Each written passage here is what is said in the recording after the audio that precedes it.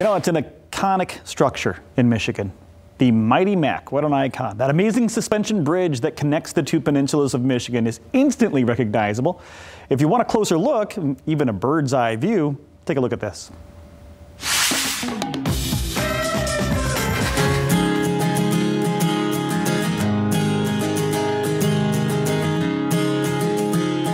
As you're traveling north on 75, headed up north, you'll see the signs for the man-killing giant clam, the mystery spot, but you know you've truly arrived when you see that first iconic tower of the Mackinac Bridge, and then the second.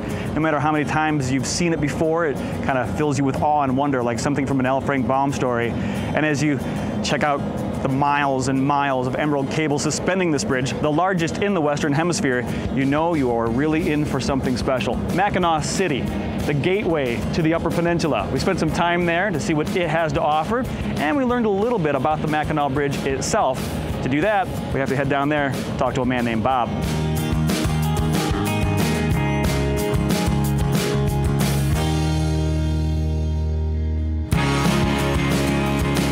Year we get about uh, 4 million vehicles that uh, travel across the bridge. How tall? Uh, the bridge is 552 feet above the water and uh, the piers go down 210 feet to bedrock and in the very center of the bridge there's about 300 feet of water. The passengers, we don't recommend that the drivers right. look down but the passengers have a pretty good view of the water. If there's a freighter coming underneath they can see it uh, through the open steel grating. Maintaining the bridge is our number one priority so uh, the crews do a great job. They, they take a lot of ownership in it and uh, they know that if uh, they don't do a repair correctly, they'll be back in there in a few years repairing it. So they make sure they do it right the first time. Now, beyond the importance of it uh, being the main artery between the two land masses that make up Michigan, there's a lot of fun that happens on the bridge too. You guys have events all the time. Oh, sure. We have 15 events. Uh, the first one starts in April and uh, they go until uh, early October, and, and uh, it's a great time. If you want to run across the bridge, we have uh, four running events on the bridge.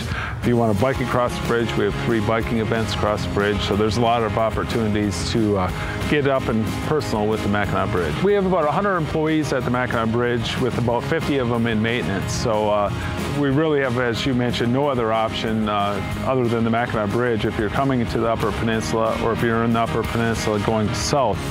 So to maintain the bridge is really important. So these crews are very dedicated. They're long-term employees and uh, they preserve the bridge so it's going to last well into the future. The bridge is going to outlive both you and I.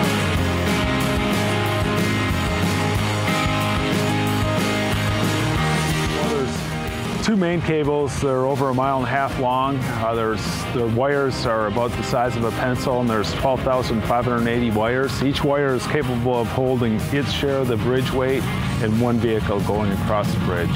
And because it's a suspension bridge and it hangs from those cables, it does move. Um, it doesn't sway per se, but if we get a, a, big wind build up, usually out of the west, like if it's blowing 40, 50 miles an hour, the bridge will move up up to 35 feet at the center from its uh, previous position. And then it'll slowly move back as the wind uh, subsides.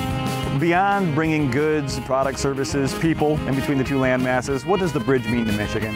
Sure, the, the bridge is the most iconic symbol of Michigan. You know, it connected the two peninsulas in the 1950s, so it was really important to uh, connect these two peninsulas because they were separated by a body of water over four miles long it, that was positioned in the east-west uh, corridor, so the, the waves and conditions in the straits uh, uh, are often very severe and not very conducive for boat rides time. So to give a permanent connection to the state of Michigan was really important at the time, and, and still today. It's a perfect way to connect uh, Michigan's two peninsulas.